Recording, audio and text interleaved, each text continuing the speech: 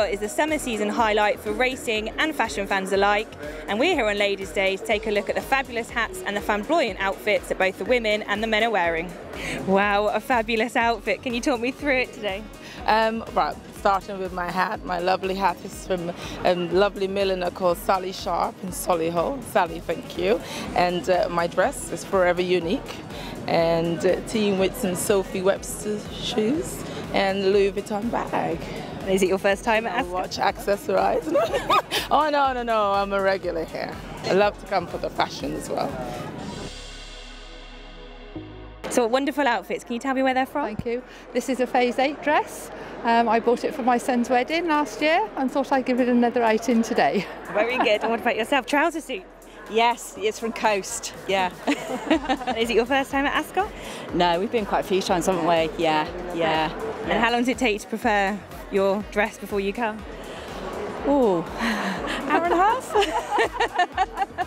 and do you plan well in advance before? We do usually. Yeah. I mean, this year I was lucky because I had this outfit, but normally it takes us several shopping trips to get it right. Yeah. Oh, you both look wonderful. Thank, Thank, you very you. much. Can you talk me through your outfit today? Uh, hi, so uh, the hat I made myself, I'm a milliner, and the hat is called Taming the Unicorn.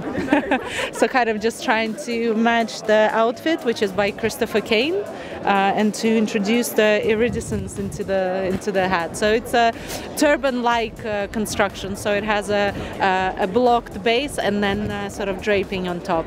Super. And I'm loving the emerald green. So, can you tell me where your dress is from? Um, it is bespoke by my friend.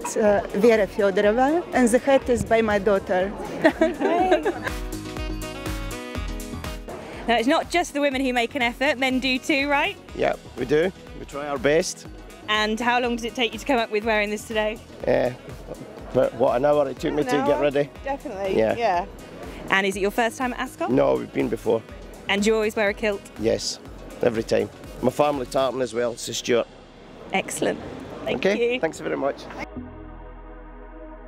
Recognise you from last year and you make the dresses yourself, as I recall? So, yeah, I'm currently studying for my Masters in Glasgow School of Art, so this is a great fun outfit you know, that I've made and I've completely changed my speciality from knitwear to embroidery and fabric design.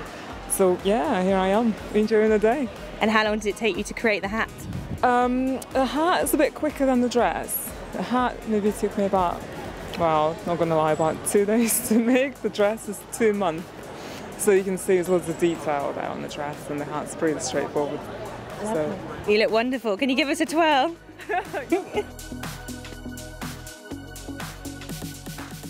so is it your first time at Ascot? It's my first time.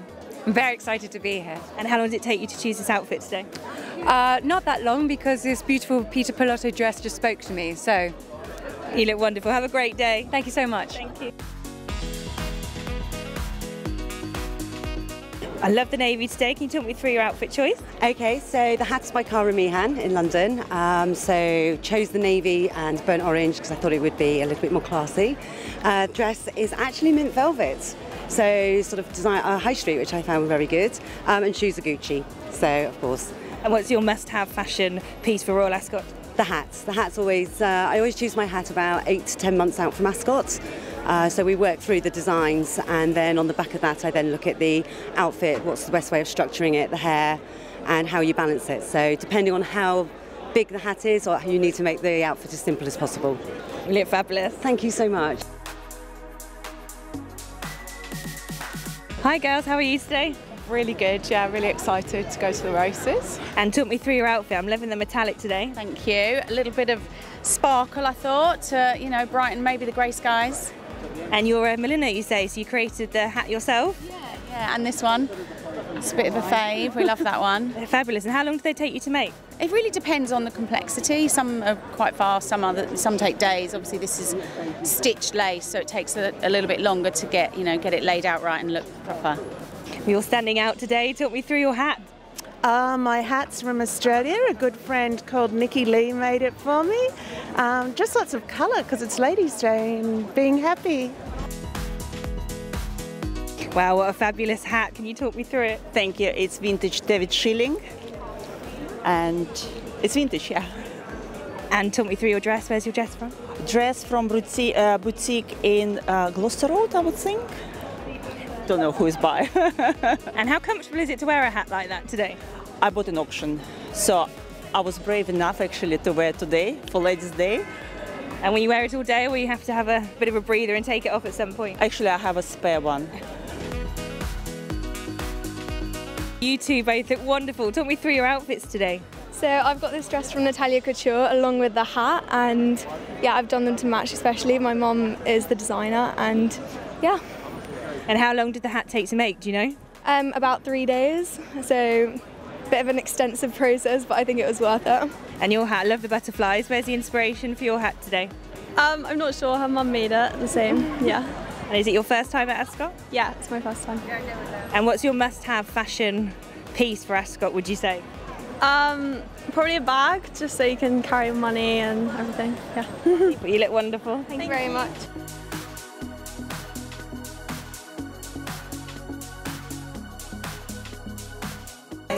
Hi there, can you talk me through your hat today?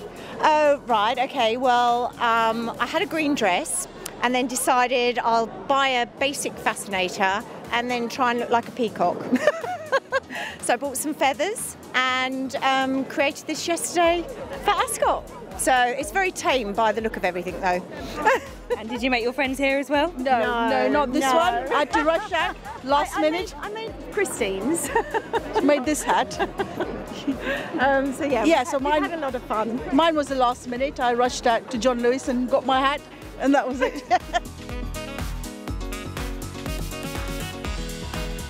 so I'm loving the outfit today. Can you Thank talk me you. through your look?